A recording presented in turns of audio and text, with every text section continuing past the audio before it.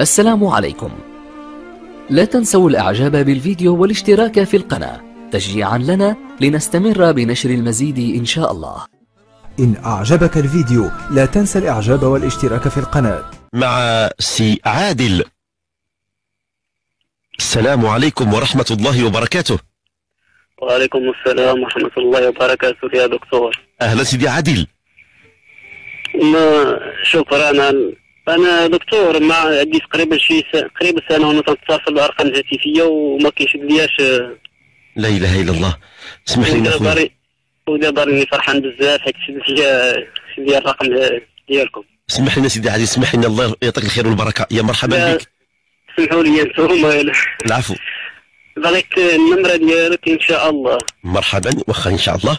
حق عشان عندي نفس وما شحال دونا كنحاول نتصل بك. تقريبا راه تقريبا ست شهور هكا يوم ما آه، ودي شحال العمر ديالك؟ 30 سنة.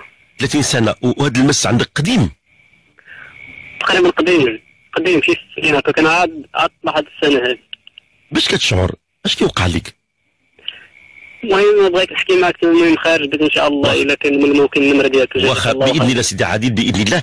أنا غندوزك للستوندار ومعنا الاستاذ المخرجة لاله مجدولين. غتعطيك الرقم الهاتفي ونتواصل فيما بعد بإذن الله. سي عادل الله يشافيك ويعافيك. الله الله يرحمك الوالدين جزاك الله خيرا. العفو العفو العفو. والله ير... اللهم يرزق اللهم يرزقك علما نافعا. يا رحمن يا رحيم اللهم آمين. شكرا لك شكرا لك. المشكل ديال المس غالبا هو كيصيب الفتيات وكيصيب النساء. علاش الفتيات؟ الفتيات اللي باقين قبل الزواج كيصيبهم المس العاشق. والنساء الكبار كيكون عندهم الهم الشديد كي وقع لها الضغط الضغط آه، ديال الهموم والمشاكل وقد تصاب ببعض الأعمال السحريه فتصاب بالمس. غالبا النساء. الرجال نادرا كيتصابوا بالمس. ولكن لكن عندهم المس كيتعذبوا. الرجال مسهم صعب جدا.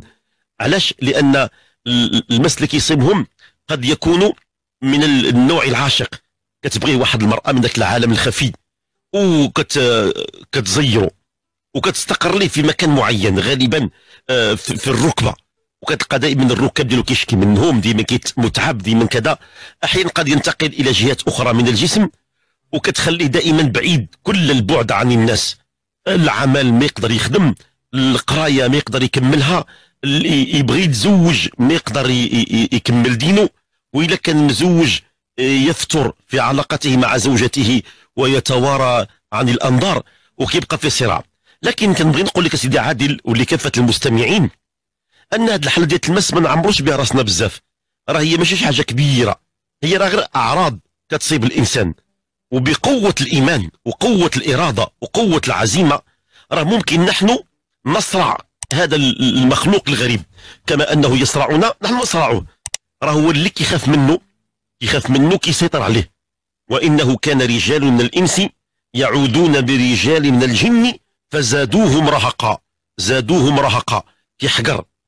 فالإنسان كلما كان قوي في إرادته وعزيمته مرتبطا من ربه ما يخافش. ما نخاف لا من ظلام لا كنت بوحدي ما نقولش ناري بوحدي. معي ربي جل جلاله إن معي ربي سيهدين. وهذه الأيام المباركة المعظمة عند الله من شهر رمضان راه الشياطين ضعفاء جدا. ربي كيسلب منهم القوة ديالهم. أضعف ما تكون هذه الأرواح الخبيثة ضعيفة في رمضان. وقد جاء في الحديث أن الله تعالى يصفدهم بالسلاسل والأغلال. كيكونوا ضعاف. اللي بغى يتخلص منهم هذه هي الفرصة المناسبة. أنه كيكثر من تلاوات القرآن الكريم كيكثر من الذكر غنبغي نقول لك أخي عادل هذه الأيام حافظ على ذكر واحد. استحضر ما عندك من هم وغم. ذكر واحد يبقى في اللسان ديالك وردده كثيرا. اللي هو علمه النبي صلى الله عليه وسلم لامنا عائشة رضي الله عنها. أن تقول اللهم إنك عفو كريم تحب العفو فاعف عني. اللهم إنك عفو كريم تحب العفو فاعف عني. اللهم إنك عفو كريم تحب العفو فاعف عني. كل ما يعلق بك من مشاكل وهموم وصعوبات ينزل حكم بالعفو الإلهي. فيطلق سراحك وغتكون إن شاء الله في وضعية مريحة بإذن الله. الله يشافيك ويعافيك. سيدي عادل. السلام عليكم.